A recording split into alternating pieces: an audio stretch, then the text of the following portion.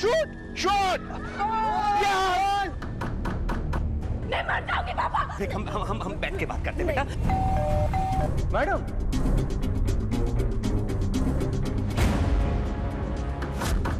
अब जो बात मैं तुमसे कहने जा रहा हूँ वो सिर्फ़ और सिर्फ़ तुम्हारे और मेरे बीच में रहनी चाहिए।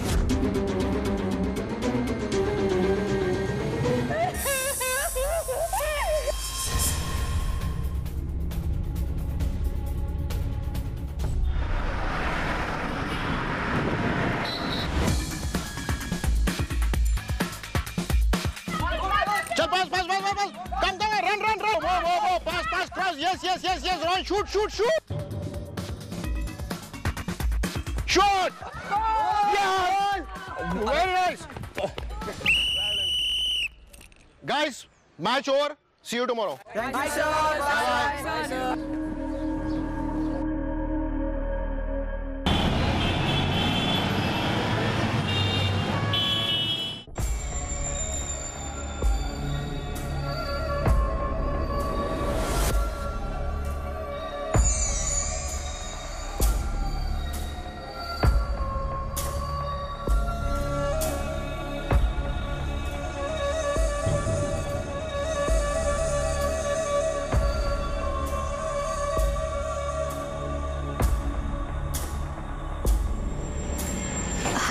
हाय मैं रूमी हूँ. मैं एक्ट्रेस एंड मॉडल हूँ. ये मेरी फ़ोटोज़ हैं.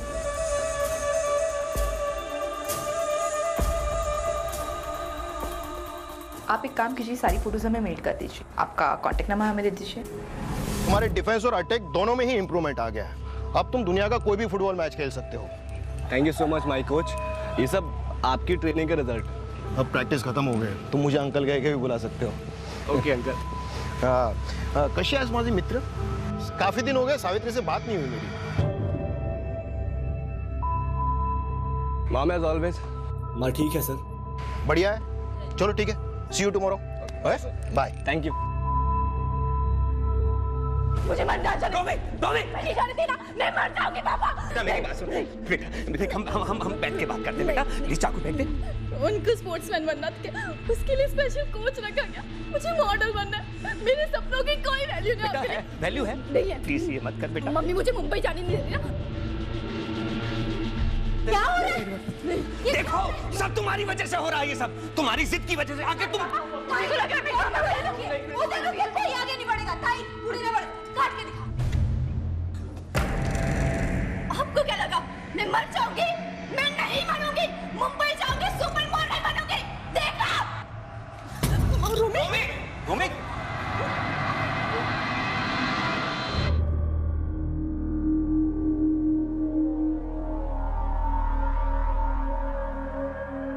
सावी आखिर उसे उसे क्यों नहीं बनने दे रहे हो मॉडल तुम? ताई क्योंकि मैं जानती हूँ कि मेरी बेटी उस प्रोफेशन के लिए नहीं बनी है। रोमी को गलत लगता है कि मैं उसके सपनों के बीच में आ रही हूँ, पर उसका सपना पूरा करने के लिए मैं एक एक्स मॉडल से मिली थी। और ताई, उसने जो मुझे हकीकत बताई। बहुत फिसलन भरी होती है हमारे यहाँ सक्सेस की सड़क। कई बार लोग आपको धकेल के आगे निकल जाते हैं। तो कई बार आपके खुद के पाँव फिसल जाते हैं और और क्या? और ज़्यादातर लड़कियाँ इस चकाचौंध में गिर के खो जाती हैं। कुछ ड्रग्स और नशे के दलदल में फंस जाती हैं। कुछ गुमनामियों के अंधेरों में और कुछ जिस्म फरोशी की गर्द में।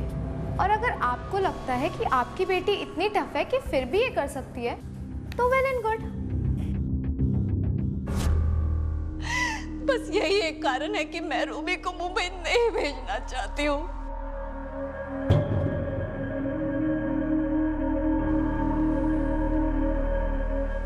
सड़क पर सफ़र करते हुए हमने ट्रैफ़िक सिग्नल को ज़रूर देखा है और उनकी अनदेखी करने पर होने वाले हादसों को भी। सड़क की तरह हमारे जीवन के सफ़र में भी कुछ ट्रैफ़िक सिग्नल होते हैं, कुछ मर्यादाएँ होती हैं, दायरे, नियम, कुछ लकीरें होती हैं जो हमारे जीवन के सफ़र को निर्देशित करती हैं। और जब इन निर्देशों की अवहेलना की जाती है तो क्या होता है, ये हम देखेंगे हमारी आज की इस कहानी में।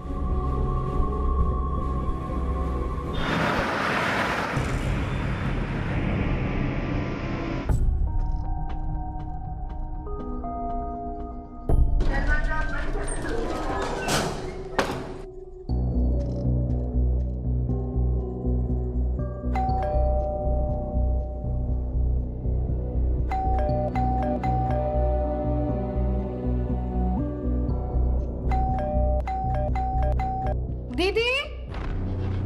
दीदी?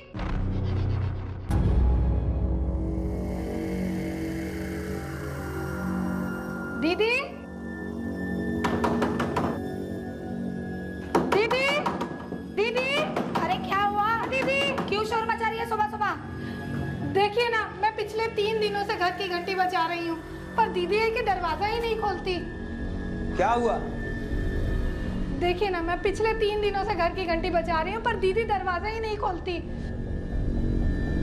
घर से अजीब सी बदबू भी आ रही है।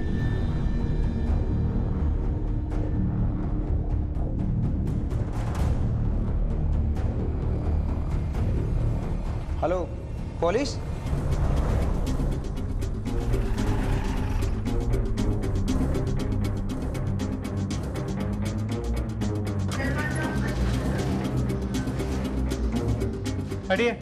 हटिए चाबी किसके पास है? सर मेरे पास है। मैं इस फ्लैट का ओनर हूँ।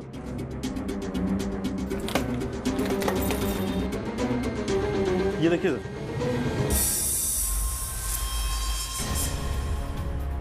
पूरे घर की तलाशी लो। पता करो कोई फोर्स एंट्री का निशान है क्या? दीदी। संभालो इसे पीछे करो। दीदी क्या हो गया? दीदी। बॉडी की हालत देख के लगता है कि कत्ल तीन चार दिन पहले हुआ था। गला काट के मारा गया। यस सर फोरेंसिक डिपार्टमेंट और एंबुलेंस को फ़ोन करके बुलाओ। पर वॉचमैन और बाकी लोगों से पूछताछ करो। पता करो पिछले कुछ दिनों में से कोई मिलने आया था क्या? जी सर। तुम यहाँ कितने बजे आती हो? नौ बजे साहिब। मैं तीन दिन पहले भी आई थी।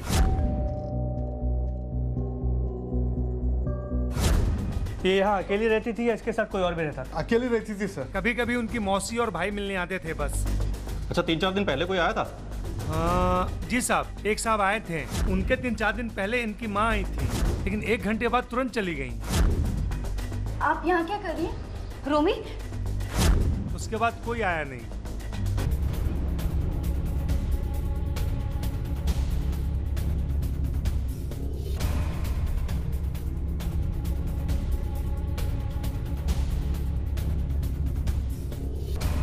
नाखून में वगैरह चेक करो कोई ट्रेसेस मिलते हैं क्या? सर ये मोबाइल मिला है।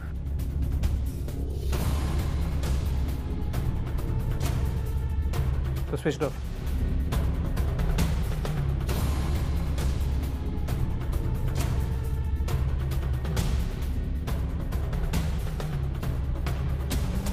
कॉल लॉक में सभी फ़ोन कॉल या तो घर के हैं या घर वालों के। इसका कोई दोस्त नहीं था यहाँ? जहाँ तक मैं जानता हूँ, इसका कोई दोस्त नहीं था सर यहाँ। और इनके फैमिली मेंबर्स के अलावा और कोई मिलने नहीं आता था।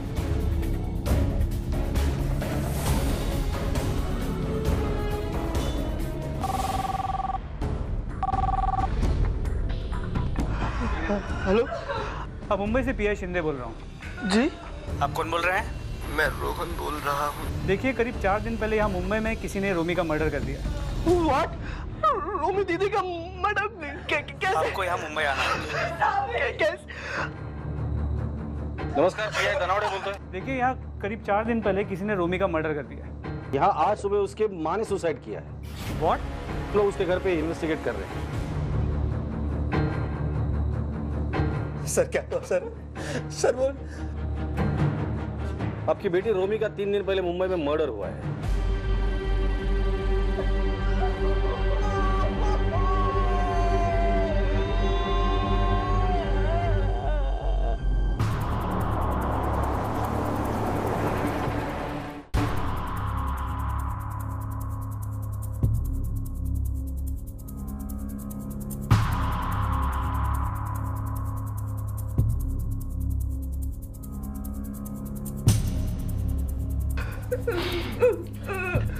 प्लीज़ जरा बाहर जाइए।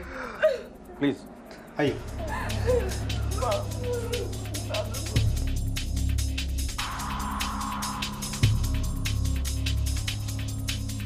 तांबे जब भी कोई इंसान सुसाइड करता है तो उसकी वज़न की वजह से उसके गले पर निशान जो होते खड़े बनते हैं। ये गोल निशान है।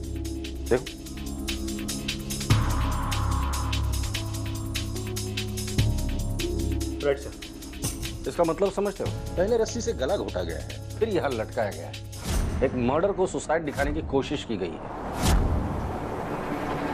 सर दरवाजे पर कोई फोर्स एंट्री का निशान नहीं है। लगता है रोमी कातिल को पहले से जानती थी। इसीलिए उसने दरवाज़ा खोल दिया उसके लिए। पॉसिबल तो है। पोस्टमार्टम के बाद बॉडी नासिक भेजने का पूरा बंदोबस्त कर दो जी। इस रोमी की पर्सनल लाइफ को अच्छे से खंगालो उसके फाइनेंशियल डिटेल्स को। भी यहाँ रोमी का मर्डर होना और वहाँ तीन चार दिन बाद रोमी की माँ का सुसाइड करना। हो सकता है दोनों केसेस के बीच कोई ना कोई कनेक्शन हो। यहाँ की इन्वेस्टिगेशन खत्म करके ऑफ़िस आ जाओ जी।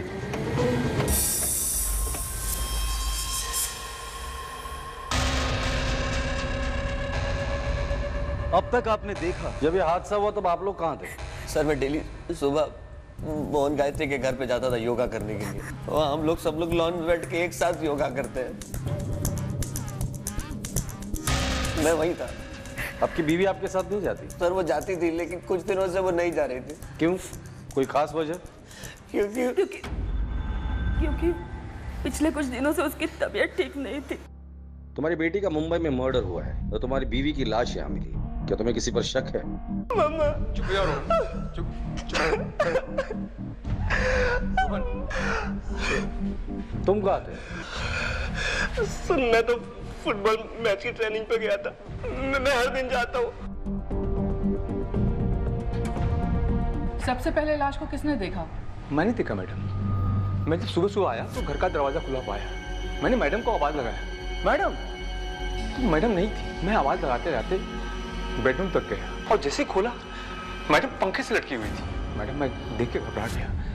फिर साहब को फ़ोन लगाया। और फिर सर मैंने मोहन को सब कुछ बता दिया और हम तीनों यहाँ आ गए।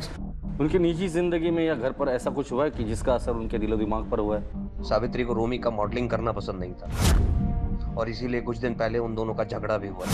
सर अंदर सेफ़ टूटी पड़ी है। बिल्कुल खाली है। सेफ़ टूटी है? सर मैंने सब चेक किया था। देखा ज्वेलरी वहाँ नहीं है। मैंने ही बताया था सर। जो भी ज्वेलरी गायब हुई है उसकी एक लिस्ट बना के हमें दे दो। सर एक मिनट ऑलरेडी है सर मेरे पास।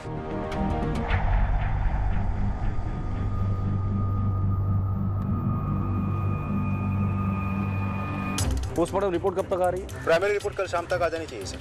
ठीक नीपा सर। आस पड़ोस में जाके सावित्री के बारे में पूछताछ करो। हो सकता है कोई इन्फॉर्मेशन मिले जो हमारे काम की यस सर चलो। तांबे अगर गहने चोरी हुए हैं तो वो बेचेगा ज़रूर। आसपास के जितने भी ज्वेलर्स हैं सबको अलर्ट कर दो। सब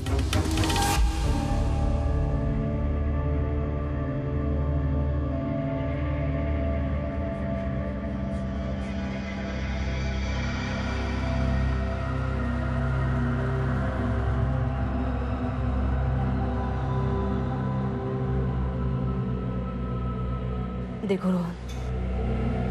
मैं समझ सकती तुम पर क्या गुजर रही होगी। लेकिन कभी अपने आप को अकेले मत समझना। तुम्हारी माँ नहीं रही तो क्या हुआ? माँ से भी तो माँ जैसी ही होती है ना? और वैसे भी अब तुम्हारी ज़िम्मेदारी माँ नहीं हो आप। मासी हो मासी बनकर रहो।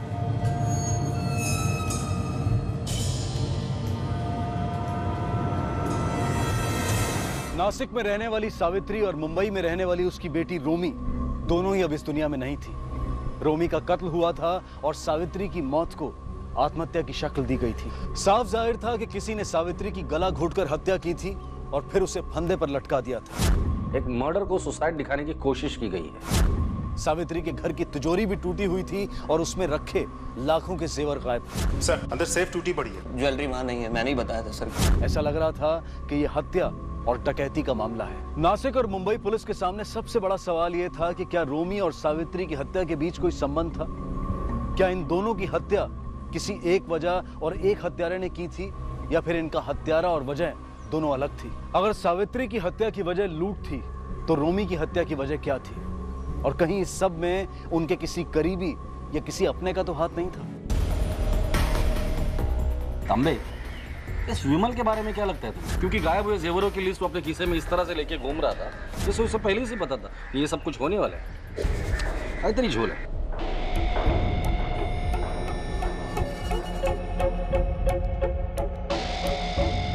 सुनो, मेरी बात ध्यान से।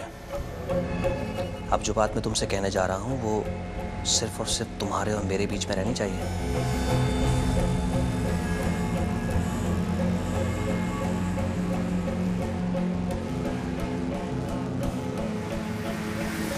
पर अगर ये वाकई मर्डर है भी तो भी विमल अपनी बीवी को क्यों मारेगा?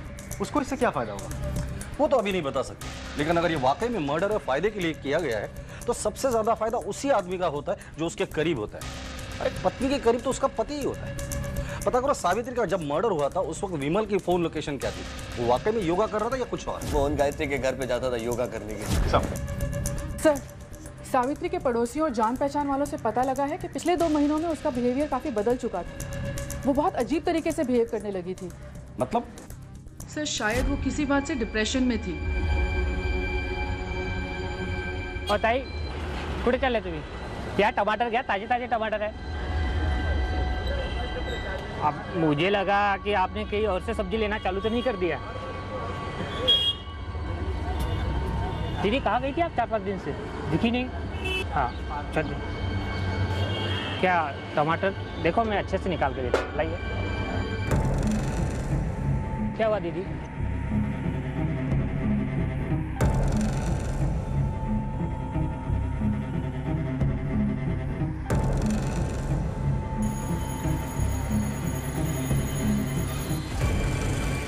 अरे सावित्री! कहाँ हो तुम? चार दिन से कीर्तन भी नहीं आ रही हो। और हम लोगों ने ना तुझे इतने कॉल किए कॉल भी नहीं उठा रही हो। सब कुछ ठीक है ना? कल पक्का मिलते हैं ओके? अच्छा।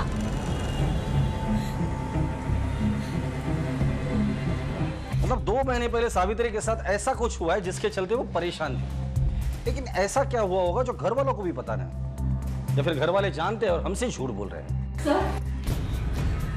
सर? जी गायत्री जी बोलिए। सर राजू हमारे कंपनी का ड्राइवर जो विमल और सावित्री की गाड़ी चलाता था। वो सावित्री की मौत के दिन से गायब है। गायब हुआ है मतलब? मतलब हमने काफ़ी पूछताछ की तो वॉचमैन से पता चला कि उसने उसका सामान कहीं टैक्सी से ले जाते हुए देखा था। उसकी फ़ोटो या एड्रेस है आपके पास? जी मैं लाई हूँ। सर ये रही उसकी फ़ोटो और ये रहा उसका एड्रेस। कंपनी के रिकॉर्ड से मिला।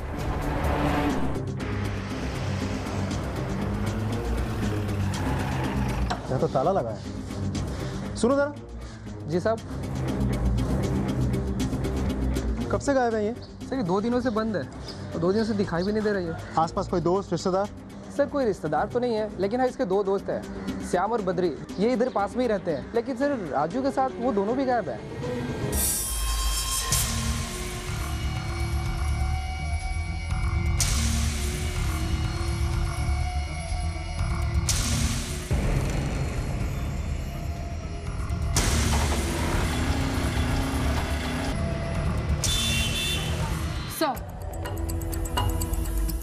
ये रही सावित्री की पोस्टमार्टम की रिपोर्ट आपका अंदाज़ा बिल्कुल सही था। ये सुसाइड नहीं मर्डर है।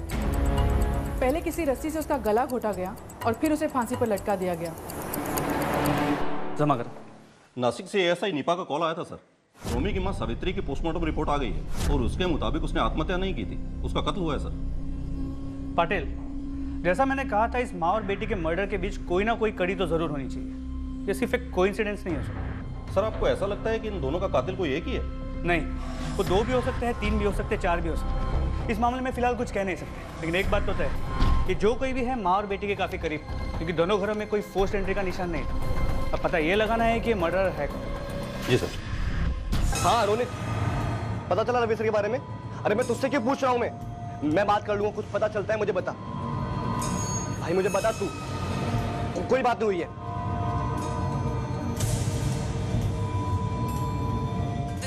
Are trying to call is currently switched off. ये आपने ठीक नहीं किया रवि सर। सर मुझे तो लगता है इस केस में ड्राइवर राजू का कोई ना कोई रोल ज़रूर है। वो अपने दोनों दोस्तों के साथ गायब है और तीनों के मोबाइल फ़ोन स्विच ऑफ़ तो ऐसा भी तो हो सकता है कि दोनों मर्डर उन तीनों ही किया हो। लेकिन राजू की ऐसी क्या दुश्मनी होगी अपने मालकिन के साथ कि उसे मार डाले? चलो मान भी लिया कि सावित्री का मर्डर राजू ने किया। रोमी को क्यों मारेगा? सर ये भी तो हो सकता है कि इन लोगों ने ये काम खुद के लिए नहीं बल्कि किसी और के कहने पर किए हो। आई I मीन mean, किसी ने उन्हें हायर किया हो। हम्म। पर किसने? शायद खुद सावित्री ने। हमें इन्फॉर्मेशन मिली है कि रोमी के कत्ल से ठीक पहले सावित्री उससे मिलने मुंबई आई थी। आपकी इन्फॉर्मेशन पक्की है? यस सर हाँ सर ये बात सच है कि मॉम मुंबई गई थी दीदी से मिलने। रोमी तीन महीनों से मुंबई में थी लेकिन सावित्री कभी भी उससे मिलने के लिए उसे देखने के लिए कभी मुंबई नहीं गई। अब अचानक क्या हो गया? वो भी अकेले? सर मैं मानता हूँ कि मोम दीदी के खिलाफ थी लेकिन सर मोम दीदी की बहुत फ़िक्र करती थी। जब भी मैं मुंबई जाता था फुटबॉल मैच के लिए तो मोम हमेशा मुझसे बोलती थी कि दीदी से मिलकर ज़रूर आना। लेकिन सर इस बार जब मोम दीदी से मिलने पहली बार जा रही थी तो मैंने उनसे बोला था कि मैं साथ चल रहा हूँ लेकिन उन्होंने मना कर दिया। हमारे इंफॉर्मेशन के हिसाब से सावित्री पिछले दो महीने से डिप्रेशन में थी। ये वही वक्त है जब रोमी उसकी मर्ज़ी के खिलाफ मुंबई गई थी एक्टिंग में करियर बनाने। सर कहीं ऐसा तो नहीं कि रोमी की इसी बात से नाराज़ होकर उसकी माँ सावित्री ने उसका मर्डर किया हो या करवाया हो। मुझे नहीं लगता। इतनी छोटी सी बात के लिए कोई माँ अपनी बेटी का मर्डर करे। लेकिन चलो मान भी लेते हैं कि सावित्री ने रोमी को मारा होगा या मरवाया होगा फिर सावित्री को किसने मारा? इसमें कोई शक नहीं था कि रोमी और सावित्री के रिश्ते ठीक नहीं थे। रोमी मुंबई जाकर मॉडलिंग में अपना करियर बनाना चाहती थी और सावित्री इसके खिलाफ थी। क्या रोमी का अपनी माँ की मर्ज़ी के खिलाफ अपने सपनों को पूरा करने के लिए मुंबई चले जाना ही उसकी मौत की वजह बन गया? क्या रोमी का उठाए कदम उसकी माँ सावित्री को इस कदर नागवार गुजरा कि उसने अपनी ही बेटी की हत्या कर दी? क्या यह वजह इतनी बड़ी थी जो एक माँ को अपनी ही बेटी की हत्या करने पर मजबूर कर दे? मुंबई और नासिक पुलिस मिलकर इस सवाल का जवाब ढूँढने में लगी हुई थी और तभी मुंबई पुलिस को एक ऐसी सूचना मिली जिसने इस पूरे मामले में एक नया एंगल जोड़ दिया और एक नई उलझन भी खड़ी कर दी। सर अभी अभी इन्फॉर्मेशन मिली है कि रोमी मुंबई के जिस फ्लैट में रह रही थी वो उसने 10 लाख रुपए के हैवी डिपॉजिट में लिया था ताकि उसे महीने के महीने भाड़ा ना देना पड़े। और कुछ ही दिन पहले उसने पाँच लाख रुपए में सेकंड हैंड गाड़ी भी खरीदी और ये दोनों ट्रांजेक्शन उसने हार्ड कैश में किए। मुंबई में काम क्या करती थी? कुछ खास नहीं था सर। सावित्री उसके मुंबई जाने के खिलाफ थी। तो रोमी को घर से पैसे मिलने से रहे। तो फिर उसके पास इतने सारे पैसे आए कहाँ से? हमारी टीम ने पता किया है। उसका नासिक में एक अकाउंट था, जिसमें उसने मुंबई जाने से पहले पाँच लाख रुपए जमा करवाए थे और मुंबई में वो उसी बैंक का एटीएम कार्ड यूज़ करती थी। इसका मतलब रोमी के पास मुंबई जाने से पहले 20 लाख रुपए थे, वो भी कैश इतना सारा कैश रोमी के पास आया कहाँ से? एक 20-21 साल की लड़की जिसने कुछ ही महीनों पहले एक नए शहर में कदम रखा था। उस शहर में अपने पाँव जमाने की कोशिशें बस शुरू ही की थी। उसके पास 20 लाख रुपए की बड़ी रकम मिलना कोई सामान्य बात नहीं थी। कहाँ से आए थे रोमी के पास इतने पैसे? या फिर ये पैसे उसे किसी ने दिए थे? और अगर हाँ तो कौन था वो? नहीं सर मैंने कोई पैसे नहीं दिए उसे। बल्कि उसने मुझसे कहा था कि वो मुंबई में अपनी किसी एक सहेली के साथ रहने वाली है। नो मैम मुझे अच्छे से पता है कि मॉम ने दीदी की कोई हेल्प नहीं की थी। सर सावित्री खुद रोमी को हेल्प करने के खिलाफ थी। मैं भला उसकी मदद कैसे कर सकता हूँ? मुझे कोई आइडिया नहीं कि उसके पास इतना सारा पैसा कहाँ से आया। मैं उस बारे में कुछ नहीं जानती सर। सर घर वालों के बैंक स्टेटमेंट्स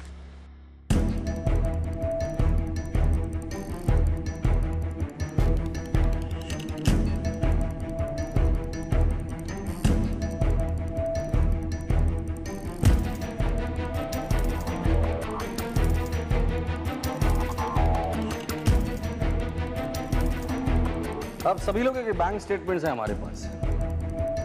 आप लोगों ने जो बयान दिया था अगर वो कोई बदलना चाहता है या और कुछ कहना चाहता है तो ये आखिरी मौका है।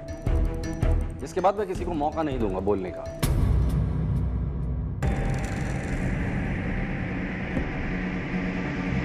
जी हाँ।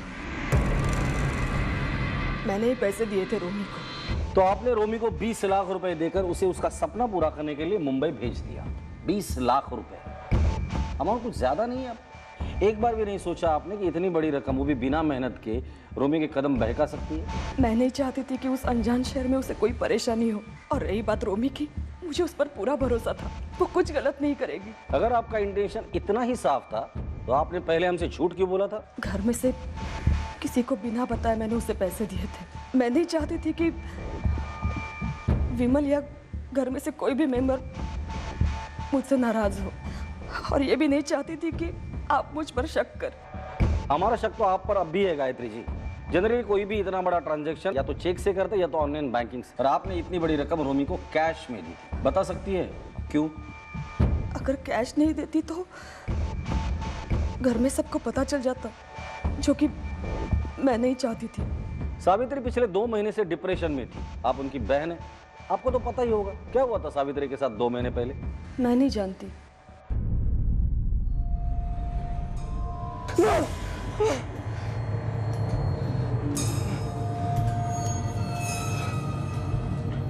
किया आपने संभव तांबे सावित्री पिछले दो महीने से डिप्रेशन में थी। और ये बात उसकी सगी बहन गायत्री को पता ना हो ऐसा हो ही नहीं सकता। कुछ तो है जो ये लोग हमसे छिपा रहे हैं। सर सर सावित्री का बैंक अकाउंट स्टेटमेंट हमें मिल नहीं रहा था लेकिन अब मिल चुका है और काफ़ी चौंका देने वाला है। ये देखिए सर। उसके मर्डर के ठीक एक दिन पहले उसने पाँच लाख रुपए का विड्रॉल किया था। और उसने पचास हज़ार रुपए की पेमेंट एक नामी डिवोर्स लॉयर को भी की थी। डिवोर्स लॉयर आप लोग? विमल जी तुम्हारे बीवी ने मरने से ठीक एक दिन पहले अपने अकाउंट से पाँच लाख रुपए विड्रॉ किए थे। बता सकते हैं क्यों? सर मुझे खुद बैंक से मिले मैसेज के थ्रू पता चला। और मैंने उससे पूछा भी था लेकिन उसने मुझे इस बारे में कुछ बताया नहीं। एक पर्सनल सवाल। क्या आपके बीवी का किसी के साथ अफेयर था? क्या बेहुदा सवाल कर रहा है? मेरी बहन ऐसे नहीं थी। तो फिर इनसे डिवोर्स क्यों लेना चाहती थी? डिवोर्स वॉट रमेश सावित्री मुझसे डिवोर्स लेना चाहती थी। उसने पूरी तैयारी भी कर ली। थी इस लॉयर के थ्रू वो डिवोर्स लेना चाहती थी हम लोग उसे मिल भी चुके हैं और उसने पचास हज़ार रुपए उसको दिए भी है। सावित्री जी के दोस्त और जानने वालों का कहना है कि दो महीने पहले से बहुत परेशान रहने लगी थी। उनका नेचर बदल गया था। वो डिप्रेशन में चली गई। और उन्हीं दिनों डाइवोर्स लॉयर से मिलना और अपना डाइवोर्स फाइनलाइज करना साफ़ बताता है कि कुछ तो प्रॉब्लम थी। क्या हुआ था ऐसा दो महीना पहले? सर इस बारे में मुझे कुछ नहीं पता सर। पर हमें ऐसा लगता है कि आप लोग हमसे कुछ छुपा रहे हैं। आप लोग शायद इसे सीरियसली नहीं ले रहे। आपके परिवार के दो सदस्यों की मौत हुई है। जिस दिन चोरी होती है उसी दिन तुम्हारे पास गहनों की लिस्ट कैसे तैयार हो जाती है? सर वो लिस्ट मैंने और सावित्री ने मिलकर बनाई थी। हम अपनी सारी ज्वेलरी बैंक में जमा करना चाहते थे और उससे पहले ये घटना हो गई सर। विमल। इंसान एक झूठ छुपाने के लिए हज़ार झूठ बोलता है लेकिन एक न एक दिन वो झूठ पकड़ा जाता है।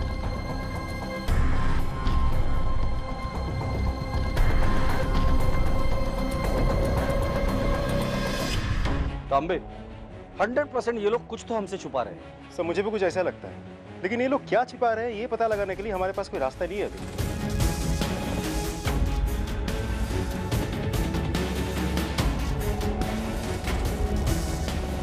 ये रोहन फुटबॉल खेलता है ना? Yes sir yes sir Rohan हमारे साथ ही प्रैक्टिस करता है। बट उस दिन उसका रवि सर के साथ मैटर हो गया था। उस दिन के बाद से हमें से किसी ने उसे नहीं देखा। कैसा मैटर और रवि सर कौन है? हमारे कोच है सर पंद्रह दिन पहले जब हम यहाँ ग्राउंड पे खेलने आए थे तो हमने देखा वो दोनों झगड़ा कर रहे हैं।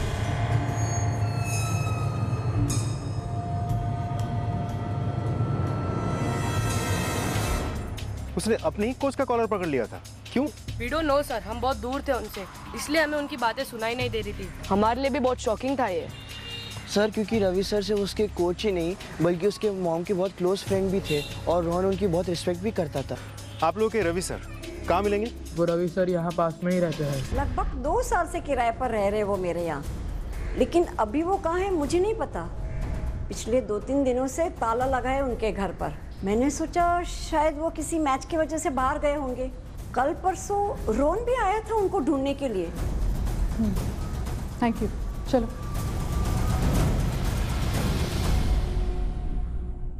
पिछले 10-12 दिनों से रोहन अपने घर से फुटबॉल प्रैक्टिस के लिए निकलता है लेकिन वहाँ पहुँचता नहीं है। इंटरेस्टिंग है। उस कोच रवि से बात की। उसका क्या कहना है इस लड़ाई को लेकर? सर ये इस इन्फॉर्मेशन के सबसे इंटरेस्टिंग पार्ट है। पिछले तीन दिनों से यानी कि सावित्री का मर्डर वाला सुबह से रवि गायब है। किसी ने उसे नहीं देखा। और परसों रात से उसका फ़ोन भी बंद है।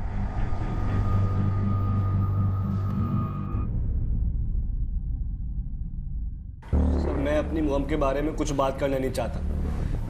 बस इतना कहूँगा she was the best mom in the world अगर वो बेस्ट मॉम थी तो उनके बेस्ट फ्रेंड के साथ तुमने झगड़ा क्यों कर लिया? यहाँ तक कि उस पर हाथ उठाया तुमने। सर इस बात का उस बात से कोई लेना देना नहीं है। वो तो हमारा पर्सनल मैटर था। किस बात का इस केस से कितना लेना देना है ये तय करना हमारा काम है तुम्हारा नहीं। सीधा सा सवाल पूछा उसका जवाब दे दो। रवि के साथ क्यों झगड़ा हुआ था तुम्हारा? सर मुझे पता चल गया था कि डिवोर्स लॉयर से मेरी मॉम को रवि सर ने मिलवाया था। सर मॉम को समझाने के बजाय वो मॉम की हेल्प कर रहे थे डैड से दूर होने के लिए।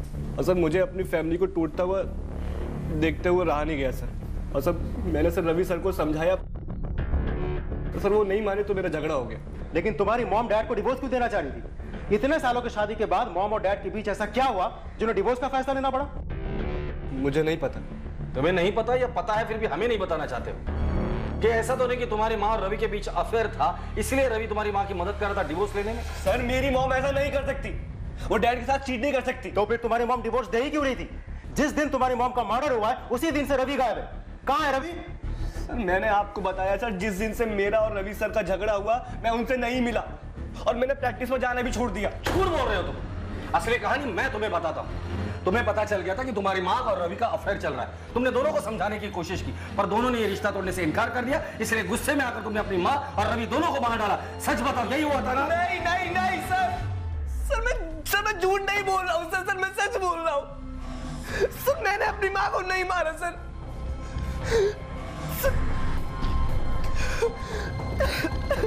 सर, मैं सच कह रहा हूँ।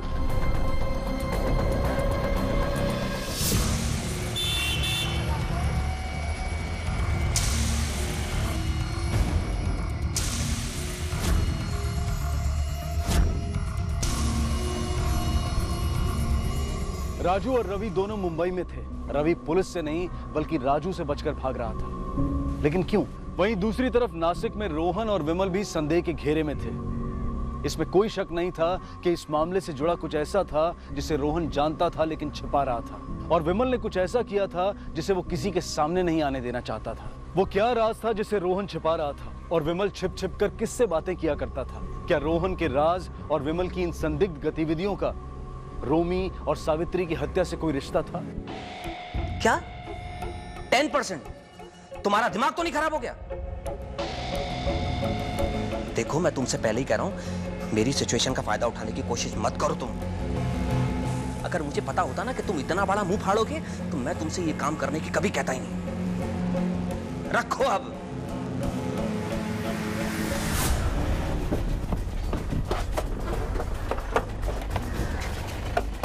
सर साइबर सेल के मुताबिक राजू का फ़ोन यहीं आसपास का ही होना चाहिए।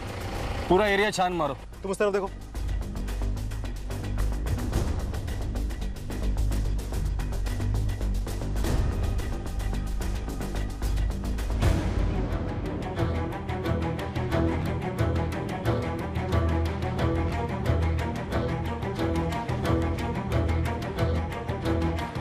फ़ोन। सर साइबर सेल वालों के मुताबिक राजू के साथ यहाँ उसका दोस्त बद्री भी मौजूद था। मुझे तो लगता है राजू ने फ़ोन बंद करके यहाँ जानबूझ के फेंक दिया होगा ताकि उसके लोकेशन हम ट्रेस ना कर पाए। तो बद्री की फ़ोन की आखिरी लोकेशन क्या है? सर मुंबई। सुबह तक तो फ़ोन ऑन था उसके बाद से बंद आ रहा है। मुंबई पुलिस को बद्री के फ़ोन की आखिरी लोकेशन इन्फॉर्म कर दो। सर।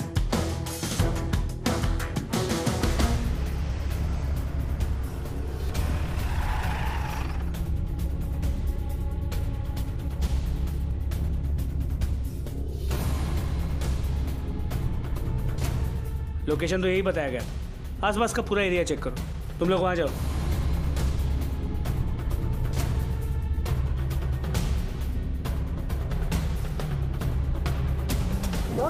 इधर आइए।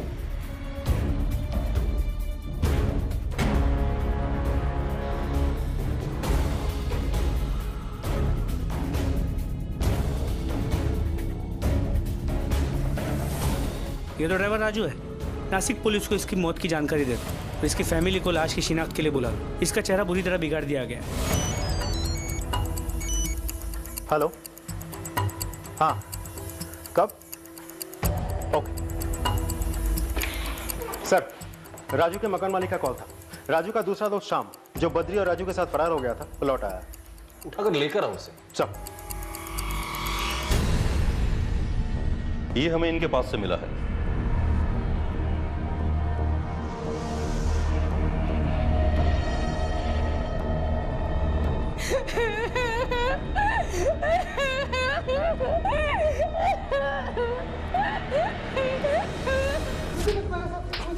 मारो साहब रोमियो और सावित्री को क्यों मारा तुम लोगों ने? हाँ? क्या दुश्मनी थी? बोल। हमने कुछ नहीं किया साहब? झूठ बोलता है। झूठ बोलता है। फरार क्यों हुआ था? हाँ? और तेरा फ़ोन क्यों बंद था? वो फरार नहीं हुए थे साहब गाँव गए थे बस। बस्ती से निकले थे राजपुर बद्री के साथ। हमारे गाँव में बिजली नहीं है इसलिए फ़ोन बंद हो गया था। पुलिस ने शाम के बयान की तस्दीक की तो पता चला कि वो सच बोल रहा था। वो राजू और बद्री के साथ नहीं बल्कि बिहार स्थित अपने गाँव में था। और वहीं दूसरी तरफ़ रोमी और सावित्री की हत्या के मुख्य संदिग्धों में से एक राजू की मुंबई में हत्या हो चुकी थी। समझ में नहीं आ रहा था कि राजू असल में शिकारी था या शिकार। सावित्री और रोमी की हत्या अगर राजू ने की थी तो फिर राजू की हत्या किसने की? राजू रवि के पीछे था। तो क्या रवि ने अपने आप को बचाने के लिए राजू की हत्या कर दी?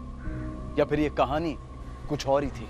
इन सारे सवालों का जवाब अब सिर्फ़ रवि दे सकता था। लेकिन क्या रवि पुलिस के हाथों में आएगा? या फिर कुछ ऐसा घटने वाला था जिसका अंदाज़ा शायद पुलिस ने भी नहीं लगाया था।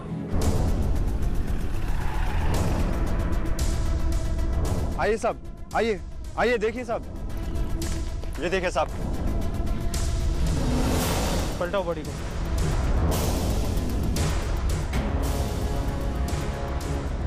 सर ये तो रवि है। रवि?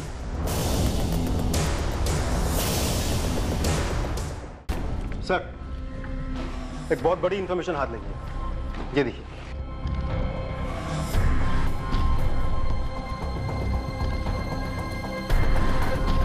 उठाकर लेकर आओ इसे। सर।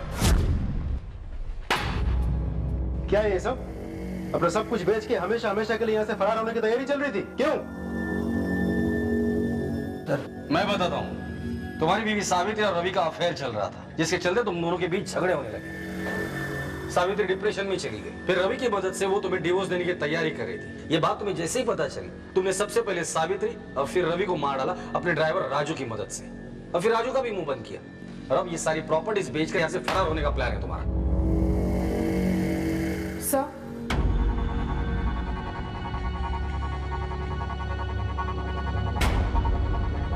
आज से दो महीने पहले सावित्री तुम गायत्री और मोहन पिकनिक के लिए खंडाला गए थे। उस रात सावित्री के साथ तुम्हारा झगड़ा हुआ था और सावित्री तुम तीनों को छोड़कर वहाँ से अकेले अपने घर आई थी। किस बात को लेकर झगड़ा हुआ था? सर पिछले कुछ महीनों से थोड़ी प्रॉब्लम चल रही थी मेरे और सावित्री के बीच में। हम उन्हें एक खंडाला लेके गए थे हमारी फार्म हाउस पर। ये सोचकर कि दुनियादारी से दूर कुछ दिन अगर एक साथ रहेंगे तो सब कुछ ठीक हो जाएगा। लेकिन कुछ ठीक हुआ नहीं सर। सावित्री हम सबको वहाँ छोड़कर अकेली नासिक लौट आई। सर। रोहन? बैठ।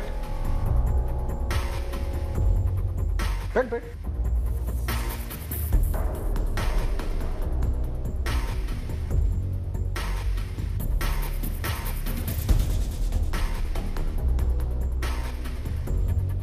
कुछ बताना चाहते हो?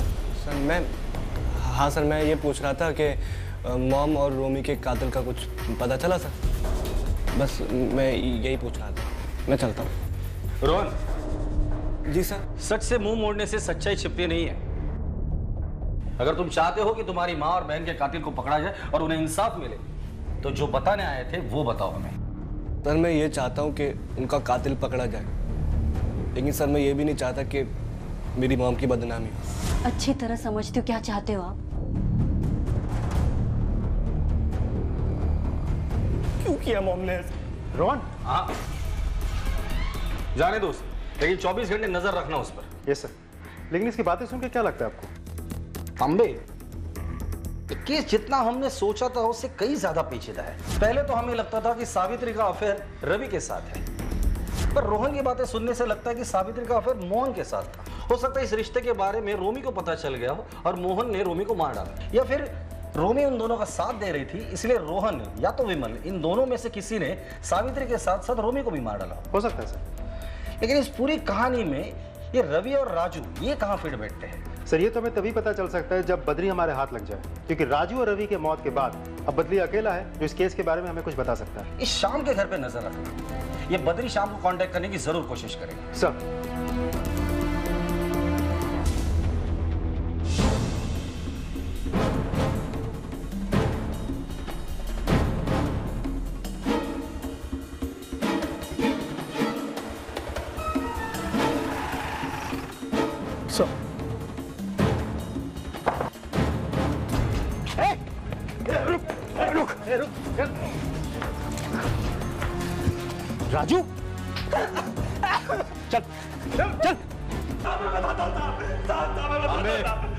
जो लाश आपको मुंबई में मिली थी साहब वो बदरी की थी।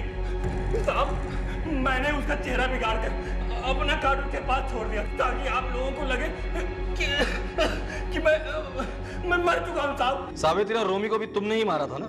जी साहब उस दिन बीमल साहब के योगा जाने के बाद मैं उनके घर गया था।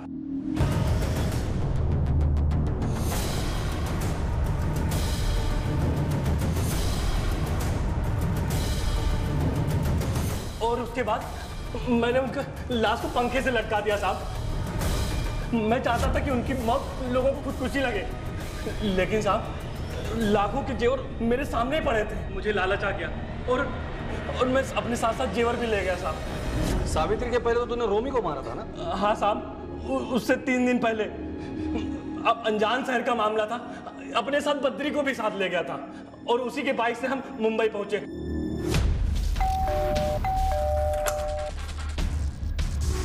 तुम बड़ी मैडम ने आपके लिए सामान भेजा था। ठीक है जाओ। अरे मैडम थोड़ा पानी मिलेगा? हाँ मैडम।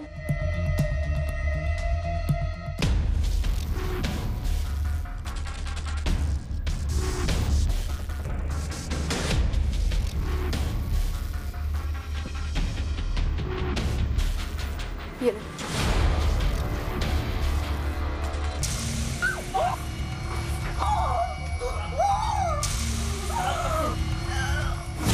सवाल है? ये सब किसके कहने पर किया तूने? क्यों किया ये सब? सर मुझे वाइफ स्वॉपिंग का शौक था।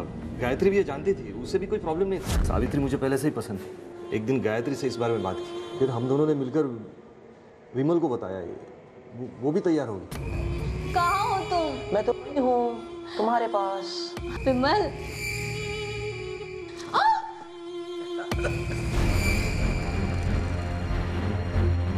जीजा जी आप सावित्री नहीं मानी वो वहाँ से गुस्से में चली आई। डिप्रेशन में चली गई। मुझे यकीन था वो अपनी जबान कभी नहीं खोलेगी। लेकिन मेरा यकीन एक दिन टूट गया, जब किसी ने मुझे मेरे इस राज को बाहर लाने की धमकी दी और मुझसे 20 लाख रुपए की डिमांड की। अगले दिन गायत्री ने अपने अकाउंट से पैसे निकाल कर रोमी को दे दिए। उसी वक्त पूछने पर रोमी ने बताया कि उसने सावित्री को रवि से बात करते हुए सुना था। रोमी से ब्लैकमेल होने के बाद हम डर गए थे। तभी मैंने फैसला किया मुझे क्या करना है। और अपने इस राज को बाहर आने से रोकने के लिए तुमने सबसे पहले रोमी, फिर सावित्री और फिर रवि को मरवा डाला। अब आखिरी सवाल, उस दिन सावित्री ने तुम्हारे सामने पल्लू क्यों गिराया था? तुम्हें तुम्हारी औकात दिखाने के लिए ना?